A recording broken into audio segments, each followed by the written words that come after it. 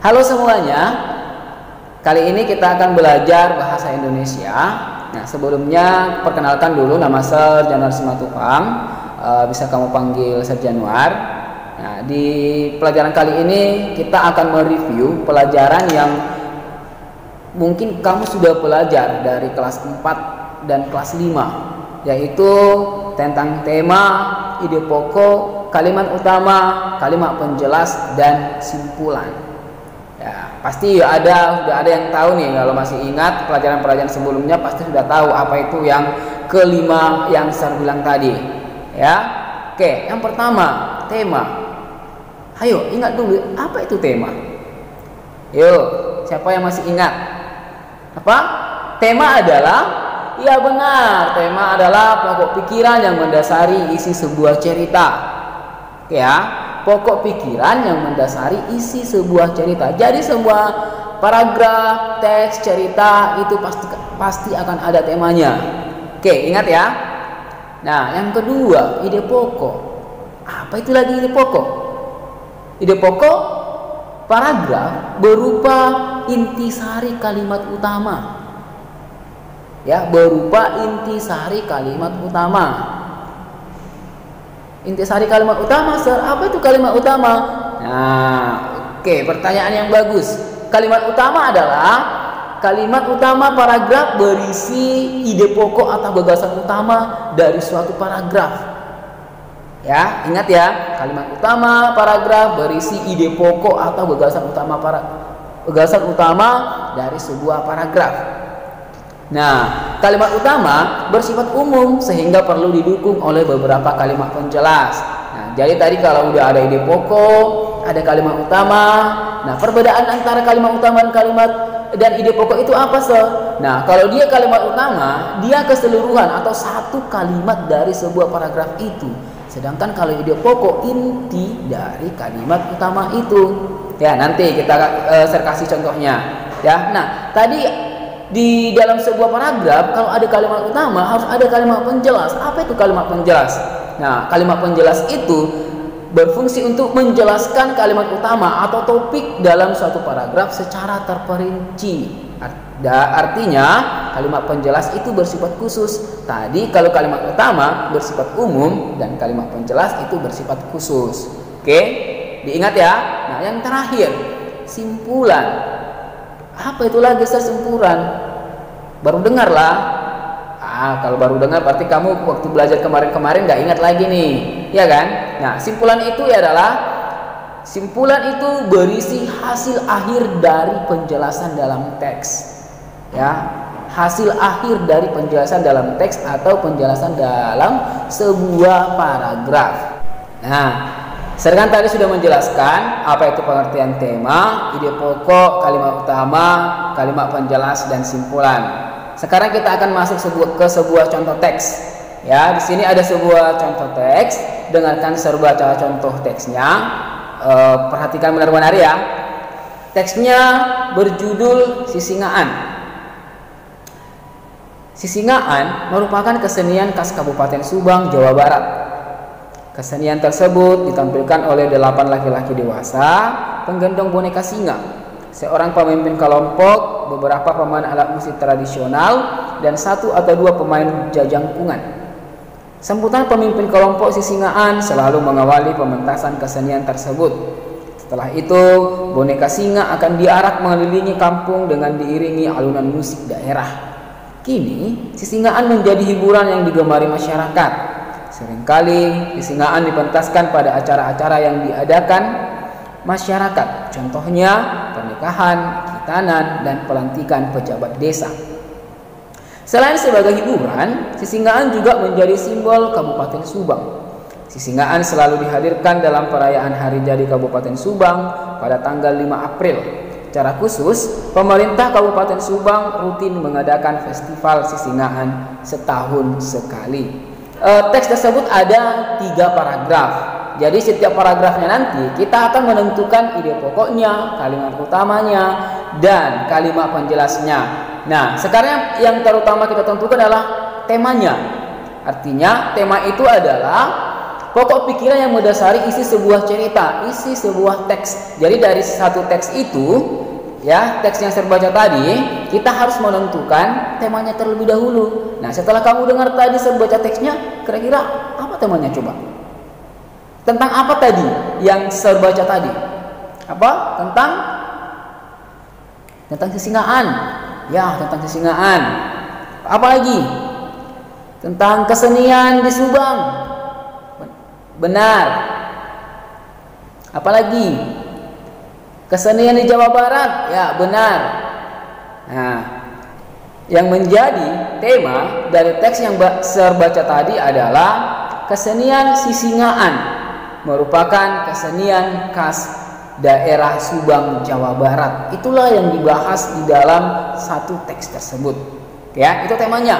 Nah, sekarang kita akan menentukan ide pokok, kalimat utama dan kalimat penjelas dari ketiga-tiga paragrafnya. Ya, yang pertama, paragraf pertama.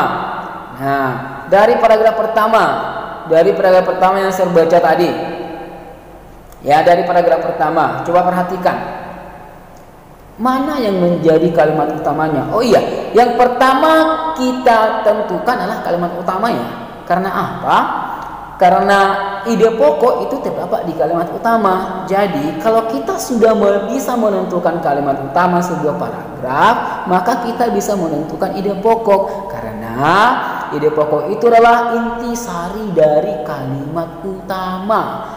Artinya, ide pokok terdapat di dalam kalimat utama. Ingat ya, ide pokok terdapat di dalam kalimat utama. Oke. Nah, coba kita lihat mana nih kalimat utamanya dari paragraf pertama. Ayo, siapa yang bisa? Ayo, ayo. Nih ada beberapa kalimat di sini ya. Mana kalimat utamanya? Ayo, kalimat pertama, kedua, atau kalimat seterusnya? Yang mana? Pertama, Oh, ada yang bilang pertama nih, ada yang kedua, ada yang ketiga juga ya, ada yang bilang terakhir, ya. Oke, yang menjadi kalimat utama pada paragraf pertama adalah kalimat pertama. Yang mana itu sir kalimat pertama? Sisingaan merupakan kesenian khas Kabupaten Subang, Jawa Barat. Nah, pertanyaannya, kenapa kalimat utamanya adalah kalimat pertama? Ayo, coba kita lihat. Coba kamu lihat di kalimat kedua kesenian tersebut ditampilkan oleh delapan laki-laki dewasa dan seterusnya. Nah, kesenian tersebut, kata tersebut itu menjelaskan di kalimat pertama yaitu kesenian Iya, kesenian sisingaan. Artinya kalimat kedua sudah menjelaskan kalimat pertama. Dari situ dapat kita ambil kesimpulan bahwa kalimat kedua, ketiga dan seterusnya sampai habis kalimat di paragraf pertama adalah merupakan kalimat penjelas dan yang kalimat pertama adalah ide pokoknya. Nah, sekarang kalimat pertama adalah kalimat utamanya. Nah, sekarang kita menentukan ide pokok. Ya, sorry ya, saya tadi salah ya. Nah, menentukan ide pokok kita ambil dari kalimat utamanya. Coba saya ulangi lagi ya kalimat utamanya ya. Sisingaan merupakan kesenian khas Kabupaten Subang, Jawa Barat. Mana yang menjadi ide pokoknya? Ide pokoknya adalah Oke, sisingaan kesenian khas Subang, Jawa Barat itulah intinya. Jadi itu menjadi ide pokoknya. Oke, sekarang lihat paragraf kedua. Paragraf kedua kira-kira ini mana ya yang menjadi kalimat utamanya ya? Di sini singkat aja sir, cuma ada tiga kalimat loh sir. Ada tiga kalimat. Berarti dari salah satu dari tiga kalimat itu adalah kalimat utamanya. Nah, coba kita lihat di sini yang mana ya? Yang mana? Ayo, siapa yang bisa? Yang mana satu atau dua atau tiga? Dua, satu, tiga. Ya benar sekali ya. Kalimat utamanya adalah kalimat pertama. Yang mana kalimat pertama, Sir? Kini sisingaan menjadi hiburan yang digemari masyarakat. Itulah kalimat utamanya. Nah, berarti kalimat kedua dan kalimat ketiga termasuk kalimat penjelas. Kenapa kalimat penjelas? menjelaskan kalimat utama. Nah, sekarang kita menentukan ide pokok. Ide pokoknya yang mana sah? Dari mana kita lihat ide pokoknya? Iya, sama yang seperti paragraf pertama tadi. Ya. Seperti paragraf pertama tadi, ide pokok kita tentukan dari kalimat utama. Yang mana tadi kalimat utamanya? Kini sisingaan menjadi hiburan yang digemari masyarakat. Yang mana menjadi ide pokoknya? Ide pokoknya adalah sisingaan menjadi hiburan masyarakat. Itulah ide pokoknya. Oke, itu di paragraf kedua ya. Nah, sekarang kita lanjut ke paragraf ketiga. Nah, paragraf satu dan dua saya udah kasih tahu nih Berarti udah bisa dong ya menentukan kalimat utama, ide pokok, dan kalimat penjelas paragraf ketiga pasti bisa dong. Kalau kamu tadi dari tadi mendengarkan konsentrasi dan memahami apa yang saya bilang pasti bisa. Oke, nah kita lihat yang di paragraf ketiga ya. Mana nih yang menjadi kalimat utamanya? Ayo, ayo siapa yang duluan? Kalimat iya kalimat pertama selain sebagai hiburan sisingaan juga menjadi simbol Kabupaten Subang Itulah yang menjadi kalimat utamanya. Ide pokoknya yang mana, Sir? Ide pokoknya inti dari kalimat utamanya. Yang mana itu? Sisingaan menjadi simbol Kabupaten Subang. Itulah yang menjadi ide pokoknya.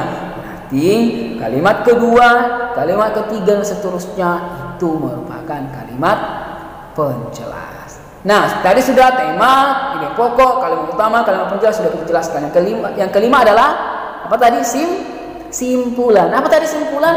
Simpulan berisi hasil akhir dari penjelasan dalam teks. Artinya dari keseluruhan tadi, dari keseluruhan yang teks yang sudah kita bahas, kita ambil simpulannya, hasil akhirnya. Jadi setelah kamu dengar tadi kira-kira apa yuk simpulannya? Kita ambil inti-inti dari tiap paragraf.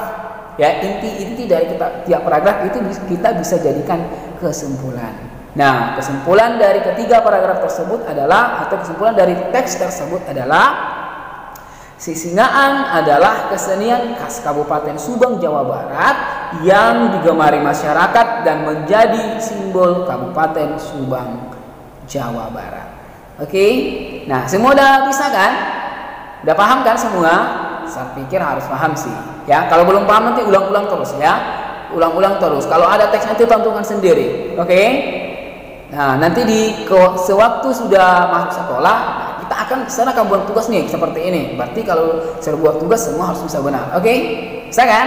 Nah, oke. Okay. Kalau anak-anak saya pasti bisa semua. Pintar-pintar ya kan? ya kan? Sekarang uh, saya akan kasih kamu satu teks. Oke, okay? judul teksnya itu adalah bunga rafflesia. Nah, teks ini terdiri dari empat paragraf. Nah, tugas kamu adalah dari keempat paragraf ini adalah menentukan temanya apa, ide pokok tiap paragraf apa, kalimat utama tiap paragraf apa, oke, baru kalimat penjelas tiap paragraf apa dan kesimpulan atau simpulan dari teks tersebut. Oke, kamu kerjakan di buku latihan ya dan jangan lupa juga buat nama, nomor, tanggal, judulnya di atas buat teks bunga refleksia. Oke. Nah, kamu buat di buku latihan. Nah, setelah siap, kamu buat. Nah, kamu kirim ke Telegram guru masing-masing ya. Karena uh, setiap kelas kan kemarin sudah dibagikan siapa yang mengajar bahasa Indonesia di kelasnya. Oke. Nah, begitu dulu pelajaran kita untuk pertemuan ini. Saya harap semua bisa mengerti. Kalau belum mengerti terus diulang-ulang ya. Oke, selamat berjumpa di pertemuan berikutnya. Bye bye.